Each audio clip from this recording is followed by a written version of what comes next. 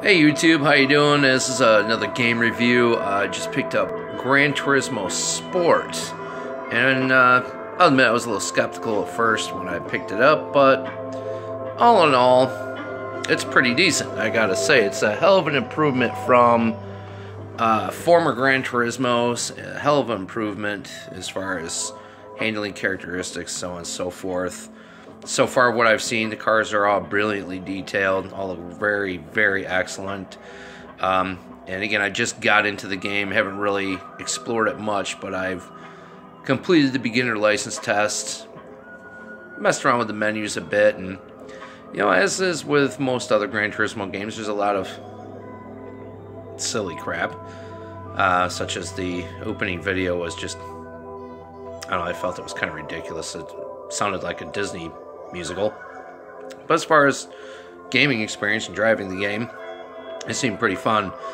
Um, compared to a couple other racing games I've played on the PlayStation 4, um, it's so far the best uh, driving game as far as realistic controls and so on and so forth. The worst driving game I've experienced on the PlayStation 4 is Need for Speed Payback. The voice acting is. I, I wanted to rip my guts out and stuff them in my ears so I wouldn't hear it. The actors and actresses in that game, it just.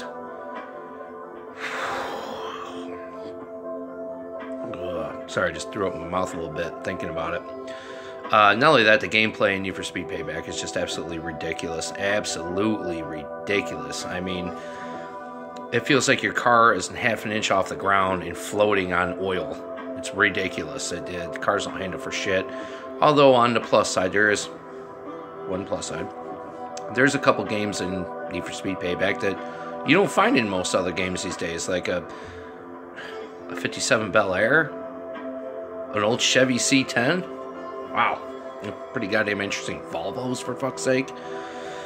Uh, so that being said, yeah, Need for Speed Payback still sucks. They really need to bring back The Run or Hot Pursuit because those are two best titles ever as far as Need for Speed is concerned.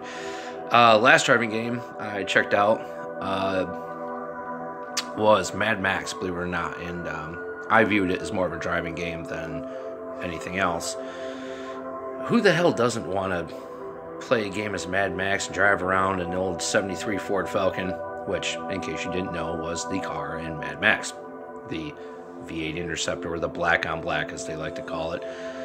Car's iconic, it's badass as shit, and it's fun as fuck to drive. Um, but as far as the rest of the Mad Max game goes, um, I don't play the game to get out of the car and running around and pick up scrap and bullshit like that. I just want to drive around with the double-barreled shotgun and fuck shit up which you can, and it's a hell of a lot of fun.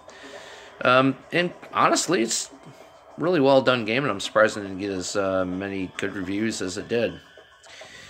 But uh, as far as Gran Turismo goes, I will make another video uh, after I get a little further ahead in it, and uh, we'll go through and um, check out a lot of cars and a lot of tracks and see how it holds up, especially on multiplayer, and see how it uh, functions, and I'll give you my opinion on that. Um, as always, keep watching them. I'll keep making them. Drop any comment you like below, negative or positive. I respond to them all. Big old thumbs up and a like and a share. Subscribe if you feel like it. Appreciate it. Y'all have a great one, and I'll see you on track.